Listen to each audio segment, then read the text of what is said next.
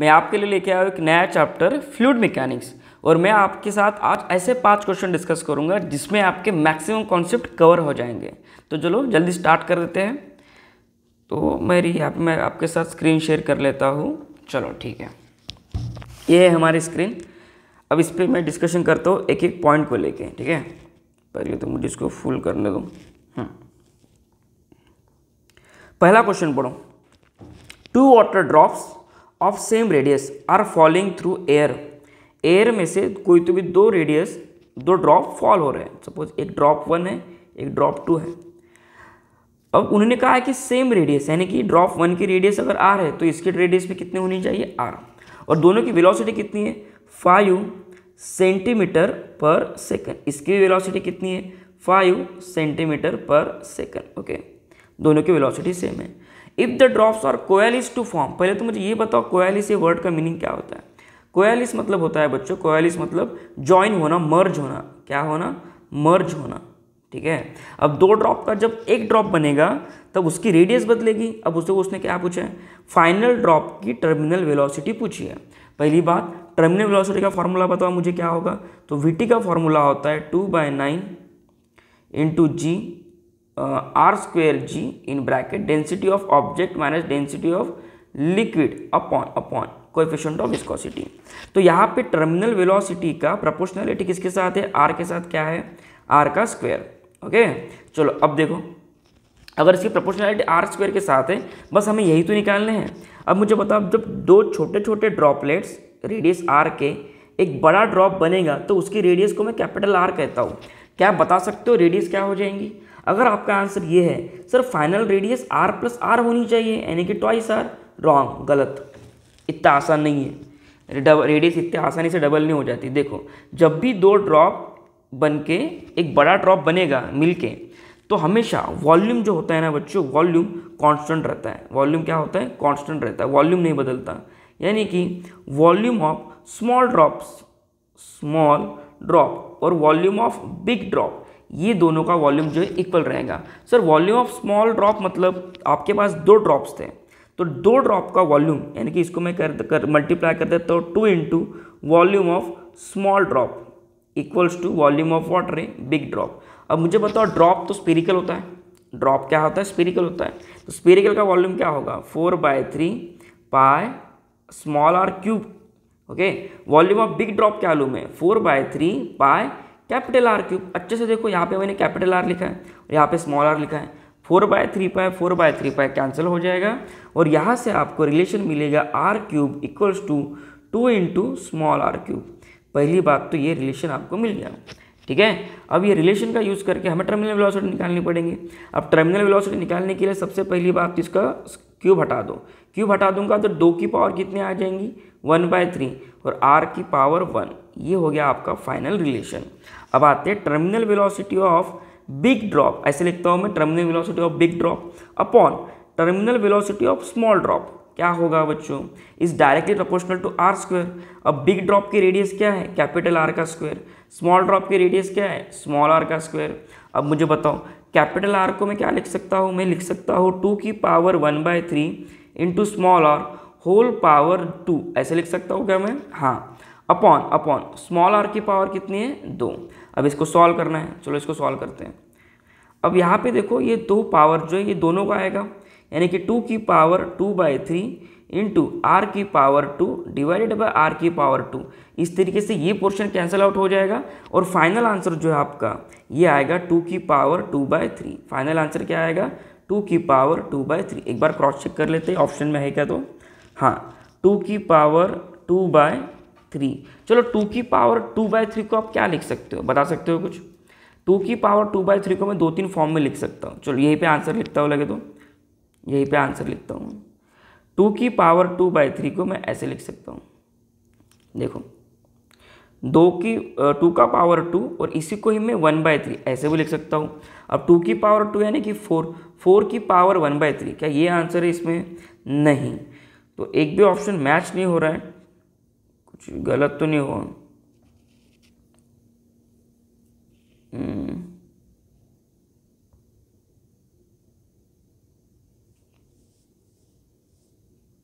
हाँ यहाँ पे हमें मल्टीप्लाई करना रह गया पाथ से।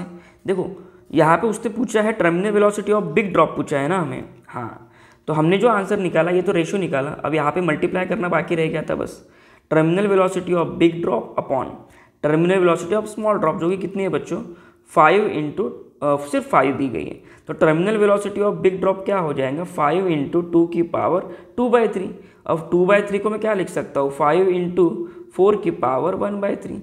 So final answer is this fourth number का आंसर आ जाएगा इसका। फाइव इंटू फोर की पावर वन बाई थ्री। चलो नेक्स्ट क्वेश्चन की तरफ़ बढ़ते हैं।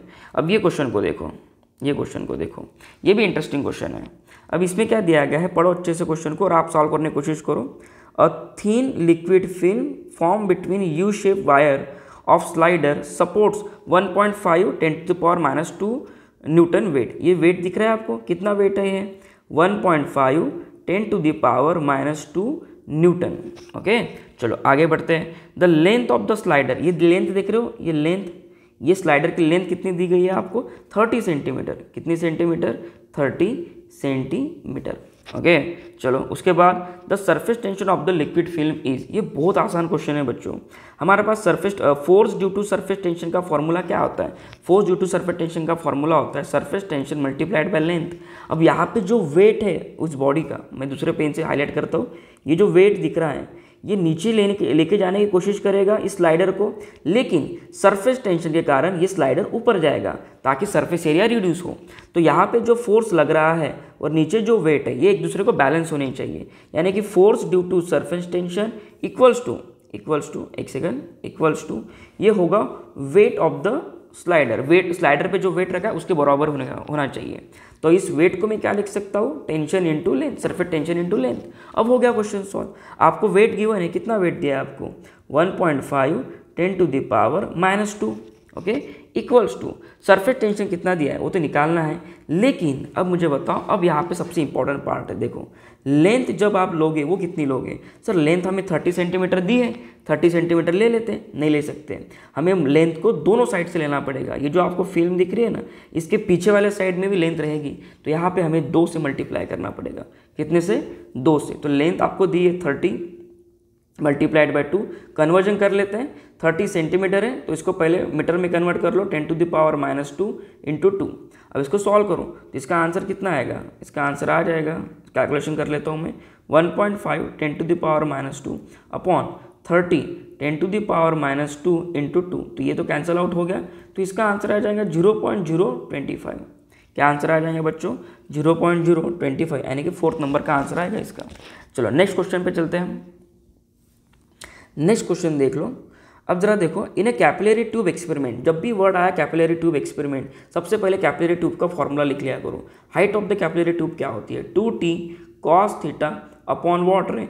जी आर ओके यहाँ पे रो क्या होता है बच्चों? डेंसिटी लिक्विड की density G acceleration due to gravity R क्या होता है? वो जो आपका ट्यूब होता है कैपिलरी ट्यूब जिसको आप पानी में डिप करते हो, उसकी रेडियस उसकी क्या? रेडियस इज़ स्मॉल आर और टी सरफेस टेंशन और थीटा क्या होता है? एंगल ऑफ़ कॉन्टैक्ट चलो, अब इतना डेटा काफ़ी है क्वेश्चन को सॉल्व करने के लिए। अब उसने कहा है the water rises up to height of ten centimeter ये क्वेश्चन बहुत इंपॉर्टेंट है। अगर एक कैपिलरी ट्यूब ली, उसने कहा है कि कैपिलरी ट्यूब में टेन सेंटीमीटर तक वाटर राइज होता है okay water rise by ten centimeter water rise by ten centimeter अब इसके बाद देखो if this experiment is perform is conducted in a freely falling elevator freely falling elevator में जी कितना होता है? जी होता है बच्चों आपका ज़ीरो वेटलेस वाली कंडीशन होगी. ओके अब मुझे बताओ फ्रीली फॉलिंग कंडीशन में जिसमें जी की वैल्यू आपका ज़ीरो हो जाएगा, अब बताओ मुझे एच कितना आना चाहिए? जी ज़ीरो हो गया तो एच कितना हो जाएगा बच्चों? इन्फाइनाइट ऐसा कभी नहीं होता. एच कभी इन्फाइनाइट नहीं होता. एच मैक्सिमम मतलब जो भी आप लिक्विड में कैपिलरी ट्यूब इंसर्ट करोगे, ठीक है? तो लिक्विड जो है, ये मैक्सिमम हाइट तक आके रुक जाता है। लिक्विड जो ऊपर राइज होगा राइज होगा राइज होगा राइज होगा इन्फाइनाइट हाइट तक नहीं जाएगा। बस यहाँ तक आते से ही इसको रुकना है। इससे नीचे नहीं जाएगा लिक्विड नीचे नहीं जाएगा, ठीक है? ना ही फाउंटेन बनेगा। आपने फाउंटेन देखा होगा। आप ऐसे इमेजिन कर रहे होंगे, सर एच इन्फाइनाइट है तो लिक्विड ऐसे ऊपर आएगा और ऐसे नीचे चला जाएगा। ऊपर से फाउंटेन बनेगा। नहीं, गलत। फाउंटेन कभी नहीं बनता है। ठीक है, ये मैक्सिमम हाइट तक जाएगा और रुक जाएगा। तो ये बहुत कॉन्सेप्चुअल क्वेश्चन है तो मैक्सिमम हाइट जो है तुम्हारी कैपिलरी ट्यूब की, वो कितनी दी गई है? मैक्सिमम हाइट जो है कैपिलरी ट्यूब की, देखो यहाँ पे दिया गया है डेटा थर्टी सेंटीमीटर तो वहाँ तक जाके वो रुक जाएगा ओके तो ये क्वेश्चन बहुत इंपॉर्टेंट था और इंटरेस्टिंग क्वेश्चन था। चलो नेक्स्ट क्वेश्चन की तरफ़ बढ़ता हूँ मैं। ये क्वेश्चन देख लो, ये क्वेश्चन भी बहुत इंटरेस्टिंग है। हमेशा याद रखना बच्चों फ्लूड मैकेनिक्स से क्वेश्चन सॉल्व करते समय एरिया जब भी इंक्रीज होगा, मैं इसको हाईलाइट करके देता हूँ बच्चों हमेशा। एरिया जब भी पानी फ्लो होगा किसी पाइप में तो वो एरिया जब भी ग्रेटर होगा तो वेलोसिटी डिक्रीज होगी प्रेशर इंक्रीज होगा। ठीक है? यही वाइसी वर्षा ट्रू है। जैसे कि एरिया अगर डिक्रीज है तो वेलोसिटी इंक्रीज होगी प्रेशर डिक्रीज होगा। ठीक है? आपने एक पेड़ों को, पौधों को पानी दिया होगा तो उसके पानी देते समय हम जनरली क्या करते हैं कि हमारा जो पाइप होता है, उसका जो सामने वाला पोर्शन होता है, उसे कॉम्प्रेस कर देते हैं, ताकि वेलोसिटी बढ़ जाए। तो हम ऐसा क्यों करते हैं? ताकि एरिया जब भी बढ़ता है डिक्रीज होता है तो वेलोसिटी इंक्रीज होती है। लेकिन प्रेशर प्रेशर प्रेशर हमेशा डिक्रीज होता है। वेलोसिटी के वेलोसिटी के अपोजिट चलता है। अब मुझे बताओ ए का एरिया देखो सी का एरिया देखो और बी का एरिया देखो। किसका एरिया सबसे ज़्यादा है? पहले ये बताओ मुझे। Area of C is greater than area of A and area of A is greater than area of water B ठीक है? ये लिख लिया होगा आपने। ये सबसे इंपॉर्टेंट है। अब यहाँ से देखो सबसे इंपॉर्टेंट क्या चीज़ दी है उसने? Which part has the highest velocity तो बहुत सिंपल है जिसका एरिया सबसे ज़्यादा, उसकी वेलोसिटी सबसे कम। ठीक है? सबसे ज़्यादा वेलोसिटी किसकी होगी फिर? ए की। ए की नहीं सॉरी मैं गलत लिख दिया यहाँ पे। यहाँ पे मुझे लिखना पड़ेगा बी क्या लिखना पड़ेगा? बी तो सबसे ज़्यादा वेलोसिटी किसकी होगी? बी यानी कि ये वाले पोर्शन में, ये वाले पोर्शन में सबसे ज़्यादा वेलोसिटी रहनी चाहिए। सबसे ज़्यादा क्या रहनी चाहिए? वेलोसिटी रहनी चाहिए। ठीक है? चलो। चलो, इतने क्वेश्चन थे मेरे पास। कोई क्वेश्चन रह गया कि मुझे देखने दो? नहीं। ये पहला क्वेश्चन हो गया था, ये दूसरा क्वेश्चन भी हो गया था, तीसरा क्वेश्चन हो गया था ओके और ये चौथा क्वेश्चन था ओके अच्छा पांचवा क्वेश्चन नीचे है सॉरी बच्चों। ये क्वेश्चन देख लो। Work done in increasing the size of a soap film from ten centimeter by six centimeter चलो, मान लो, कोई एरिया ले लेते हैं, कोई एरिया ले लेते हैं। कितने बाय कितने का बच्चों? टेन सेंटीमीटर बाय मान लो कि ये साइड आपको दी है टेन सेंटीमीटर और ये साइड आपको दी है सिक्स सेंटीमीटर ठीक है? उसके बाद अब ये एरिया जो है बढ़ गया है इंक्रीज हुआ है। चलो इंक्रीज एरिया को मैं कुछ अलग पेन से दिखाता हूँ लगे तो। कुछ अलग पेन से दिखाते हैं हम इसको। हम्म, चलो येल्लो कलर से दिखाते हैं। तो इंक्रीज एरिया मान लो कि कुछ ऐसे दिख रहा होगा। ये एरिया इंक्रीज होगा इस ये जो पोर्शन दिख रहा है आपको ये ये वाला पोर्शन दिख रहा है। This is called increase in area इसको क्या कहते हैं बच्चों? इंक्रीज इन एरिया चलो फाइनल एरिया कितना हुआ है? फाइनल एरिया आपका ten centimeter by eleven centimeter हुआ है। चलो, मैंने जो एरिया इंक्रीज किया है, वो थोड़ा अलग किया है। एक्चुअली ये टेन सेंटीमीटर ही है। पेन को फिर से चेंज करना पड़ेगा मुझे। कोई दूसरा पेन ले लेता हूँ रेड ले लेते हैं, चलो। तो यहाँ से लेके ये जो है, ये स्टिल टेन सेंटीमीटर ही है। लेकिन ये वाला पोर्शन जो है, ये ये पोर्शन ये इंक्रीज हुआ है। ये पोर्शन जो है, आपका ये इंक्रीज हुआ है। और ये बढ़ के कितना हुआ है? Eleven centimeter. कितना सेंटीमीटर? Eleven centimeter. जब भी ऐसे क्वेश्चन आए, सबसे पहले इनिशियल एरिया फाइंड कर लो। इनिशियल एरिया क्या था आपका?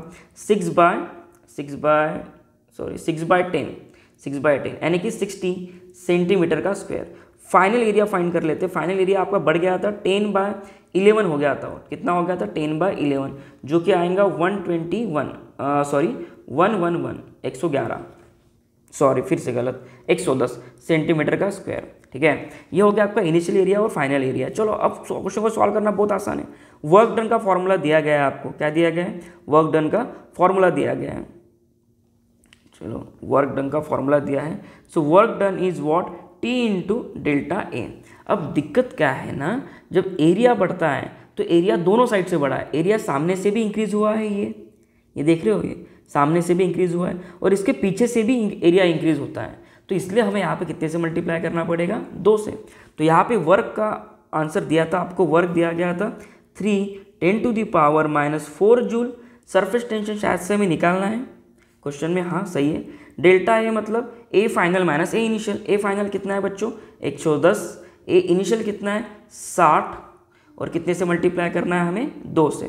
तो इसको सॉल्व करते हैं। टी इंटू साठ इंटू साठ में से एक सौ दस को सब्ट्रैक्ट कर दो चालीस और कितना हो जाएगा पचास? फिफ्टी फिफ्टी इंटू टू और ये कितना हो जाएगा?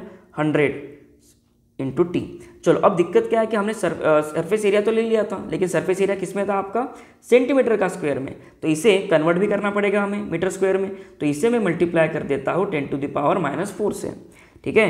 Three into ten to the power minus four ये तो कैंसिल आउट हो गया। तो टी कितना आया बच्चों आपका? टी आ जाएगा टी आ जाएगा। थ्री अपॉन हंड्रेड यानी कि ज़ीरो पॉइंट ज़ीरो थ्री ये आना चाहिए आंसर सरफेस टेंशन एक बार क्रॉस चेक कर लेते हैं, यानी कि ये आंसर आ जाएगा आपका। दो सेकंड नंबर का आंसर ऑप्शन आ जाएगा। ठीक है? तो होप सो आपको वीडियो अच्छा लगा होगा। वीडियो अच्छा लगा तो प्लीज़ मेरे चैनल को सब्सक्राइब कर देना और वीडियो को दोस्तों के साथ शेयर कर देना। और आपको कुछ भी हेल्प लगती है बच्चों, मेरे ऑफलाइन क्लासेस चलते हैं वर्धा डिस्ट्रिक्ट में, आपको कुछ भी हेल्प लगती हो तो आप मुझसे कॉन्टैक्ट कीजिए, मैं आपकी पूरी हेल्प करूँगा। ठीक है? Thank you so much students bye good night